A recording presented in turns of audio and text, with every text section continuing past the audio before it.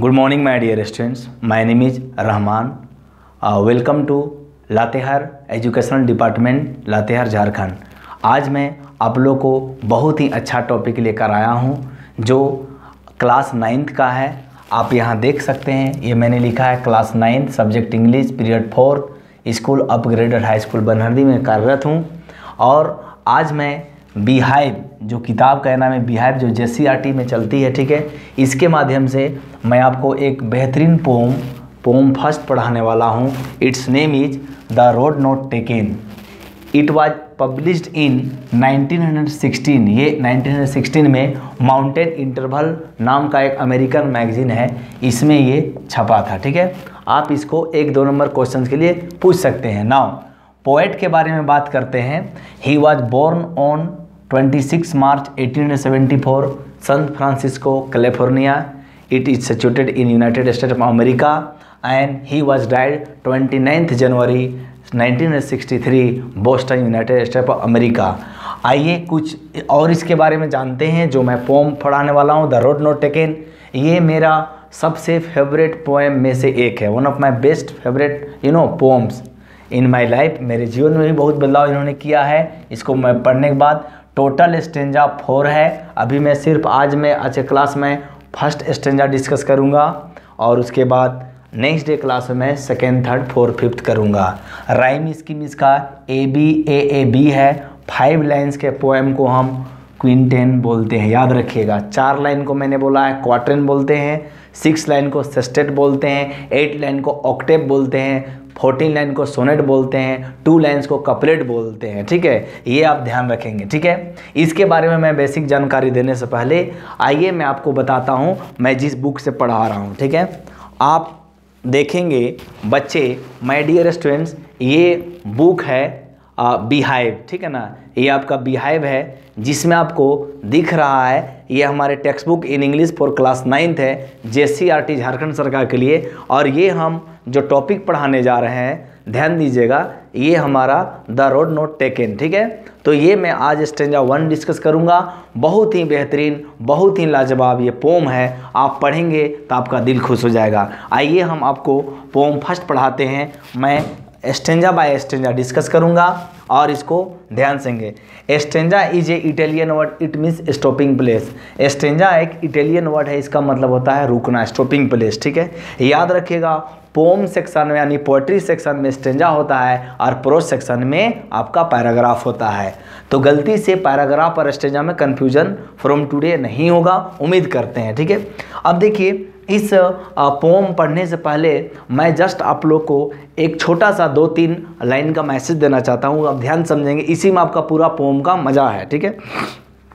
Sorry pome क्या कहा कहता है कि जीवन में मतलब पोएट के जीवन में भी दो रास्ते आए, ठीक है ना? तो यहाँ पर एक सीन है येलो वुड का मतलब बसंत ऋतु है, ठीक है? पतझड़ का मौसम है, ठीक है? स्प्रिंग सीज़न है। और इसमें क्या होता है पोएट जो है किसी जंगल में जाके खड़ा हो जाते हैं, ठीक है? इस तरह से मान लीजिए, ये जो है, रास्ता है, दो रास्ते चले जाते हैं, ठीक है ना? एक यहाँ ए है तो ये बी है। यहाँ पोएट क्या है? खड़े हैं, ठीक है? दे ध्यान दीजिएगा, यहाँ पोएट खड़े हैं। अब उनको ए रास्ता सही है या बी रास्ता ये पता नहीं चलता है, ठीक है? तो इसी को तहत जो है, हम इस पोम को पढ़ाएँगे। तो यहाँ पर आपको ध्यान देना है कि जब आपके ज़िंदगी में भी कभी भी दो सिचुएशन होता है, ठीक है? क्या बनूँ डॉक्टर बनूँ इंजीनियर बनूँ एडवोकेट बनूँ डीसी बनूँ एसपी बनूँ एसडीएम बनूँ, जो भी आपको बनना है, लेकिन आप एक्चुअली डिसीज़न ले लेते हैं और दो चार साल के बाद क्या करते हैं, उस डिसीज़न पर फिर कंसीडर करते हैं रिकन्सिडर करते हैं और आपको लगता है कि फिर से हमको अब एसडीएम नहीं बन पाएँगे, अब हम बनेंगे डॉक्टर ठीक है? अब हम बनेंगे इंजीनियर और होता क्या है माय डियर स्टूडेंट्स ऐसी स्थिति में आप कन्फ्यूज़न होकर के वो भी नहीं कर पाते हैं, ये भी नहीं कर पाते हैं. तो पोइट इस मतलब पोम के माध्यम से ये हमें स्ट्रॉन्ग मैसेज देना चाहते हैं कि जीवन में कुछ भी हो, अगर हमने एक बार रास्ता चुन लिया है तो उसको we should never look back हम लोग को कभी भी पीछे मुड़कर नहीं देखना चाहिए। मान लीजिए आपके सामने मैं टीचर बन के खड़ा हूँ, ठीक है? मैं गवर्नमेंट टीचर हूँ। तो इसका मतलब यही है कि मैंने बहुत साल से ये सपना देखा था, मुझे हर हाल में बनना है तो बनना है, ठीक है? अगर मैं बीच में डॉक्टर इंजीनियर के लिए चला जाता तो फिर मैं नहीं बन पाता। तो कोई भी काम कंप्लीट नहीं होता है, अगर आप एक लाइन को छोड़ करके बदलेंगे बार बार ठीक है? तो इसीलिए यहाँ पर पोएट पोएम जो है, और पोएट के माध्यम से पोएम के माध्यम से ये बताया गया है। चलिए हम आपको पढ़ते हैं, तब आपको और ज़्यादा समझ में आएगा, ठीक है? इस पोएम को। Two roads diverge in a yellow wood yellow wood का मतलब क्या है? एकदम पतझड़ का मौसम है, ठीक है ना? दो रास्ते हैं, ये ए है बी है। इसमें भी पूरा पत्ते वगैरह झड़े हैं, ठीक है? देखिए क्या है? And and sorry I could not travel both and be one traveller long I stood and you know and look down one as far as I could to where it bent in the undergrowth ये first stanza का मैं आपको सबसे पहले new words बताता हूँ। Diverge means होता है बच्चे सेपरेटेड अलग हो जाना। आप चौमिन खाते होंगे तो देखिएगा, इस तरह से कांटेदार चम्मच होते हैं, ठीक है? डाइवर्ज हो जाते हैं मतलब अलग अलग होते हैं। तो ये हुआ सेपरेटेड अलग अलग होना, ठीक है? फोर्क टाइप का। अंडरग्रोथ का मतलब सरप्स मतलब होता है झाड़ी, ठीक है? याद रखिएगा। तो यहाँ पर मीनिंग क्या बोलते हैं?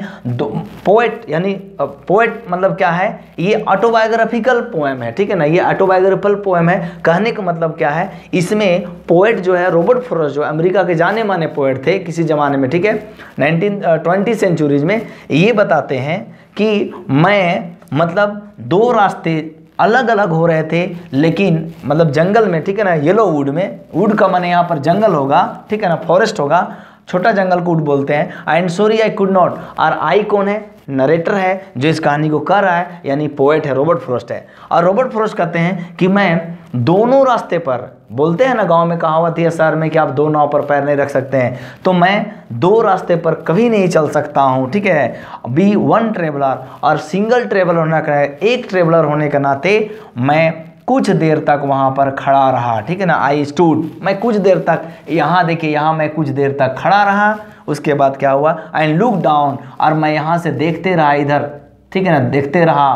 कहाँ तक मैं देख सकता था? आयज फार आयज जितना दूर देख सकता था मैं आई कूड मैं देख सकता था। To where it bend to it मतलब ये रास्ता जो है, ये रास्ता है जहाँ तक जाता था, वहाँ जाती थी, वहाँ तक मैं देख सकता था। ठीक है ना इन द अंडर ग्रोथ अब देखिएगा, जंगल में जब आप चलने लगेगा तो इस तरह से जिग जैग टाइप का जो रास्ता होते हैं, उसके बाद देखिएगा, कुछ देर के बाद झाड़ी दिखाई दे दूर दूरी के बाद, उसके बाद आपको वो रास्ता बिल्कुल दिखाई नहीं देता है। तो यहाँ पर फ़र्स्ट स्टेंजा में यही इनका कहना है, ठीक है?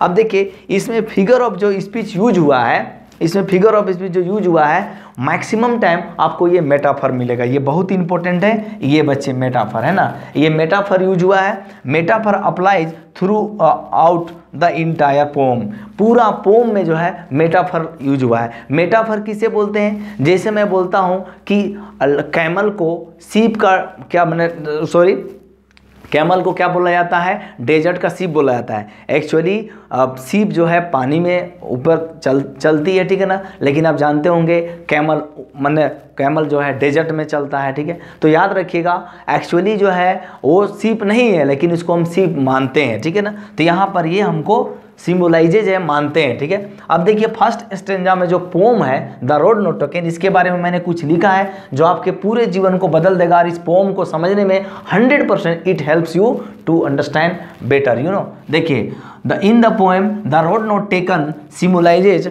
our life ये हमारे ज़िंदगी को क्या करता है? सिम्बोलाइज करता है रिफर करता है डिनोट करता है। The poet says that the path that we don't choose रास्ता जिसको हम सेलेक्ट नहीं करते हैं, जिसको हम चूज़ नहीं करते हैं इन आवर लाइफ हमारे जीवन में is the road not taken जो रोड नोट टोकन है रोड नोट टेकन माने वह रास्ता हम लोग सेलेक्ट नहीं करते हैं, उसके बारे में ये बात करते हैं। ही डिस्क्राइब्स ही माने क्या poet that means Robert Frost describe his feelings वो अपने फीलिंग्स को इमोशन को डिस्क्राइब करते हैं। अबाउट दैट चॉइस उस चॉइस के बारे में that he had left in the past जो उन्होंने पास्ट में छोड़ दिया था। The path which we have chosen decide our future ये बहुत इंपॉर्टेंट है। जीवन में हम वही बनते हैं जो हम बहुत साल पहले डिसाइड करते हैं और हमारा वो डेस्टिनेशन बन जाता है हमारा वो तकदीर बन जाता है। तो ये पोम अगर देखा जाए फ़र्स्ट स्टेंजा बहुत ही आ, मतलब आयरनिकली इसको ये बोला जाए कि हमारे लाइफ को एकदम डायरेक्ट रेफर करता है कि रास्ता याद रखिएगा हमें सोच समझ कर सेलेक्ट करना चाहिए और जब सेलेक्ट कर लेते हैं तो पछताना नहीं चाहिए। हमेशा आगे छोटा जब ब्रूक होता है नदी की तरह बिल्कुल आगे बढ़ते रहना चाहिए। Ups and downs is everywhere up and down हमेशा होते हैं, जीवन हमेशा आगे बढ़िए। इस पोम से हम बहुत कुछ सीखते हैं। और जो सेकेंड थर्ड फोर्थ स्टेंजा है, वो भी कुछ बोलेंगे, वो भी कुछ हमें मैसेज करेंगे। सॉरी और वो भी क्या होगा? मैसेज बताया जाएगा, ठीक है? तो कि ये पोम जो है नेक्स्ट डे हम क्लास आपको कि जो नेक्स्ट आपका स्टेंजा है सेकेंड थर्ड फोर्थ आप कहीं जाइएगा नहीं काइंडली वॉच दिस चैनल हमारा लातेहार का एजुकेशन डिपार्टमेंट का चैनल है। इसमें हमारे डीसी साहब के इनिशिएटिव से बहुत अच्छा काम हो रहा है और मुझे खुशी है कि हम लोग वीडियो बना रहे हैं, बच्चे फॉलो भी कर रहे हैं, बहुत गार्जियन बहुत टीचर जो है ना, इसको मतलब शेयर भी कर रहे हैं और ये हमारे लातेहार जिला के लिए बहुत अच्छा सिम्बल है। Thank you very much have a great day I hope you are doing well आप अच्छा कर रहे होंगे अच्छा और कीजिए बेस्ट कीजिए। गुड और बेटर से सफिशियंट नहीं है, हमें बेस्ट चाहिए। Thank you very much again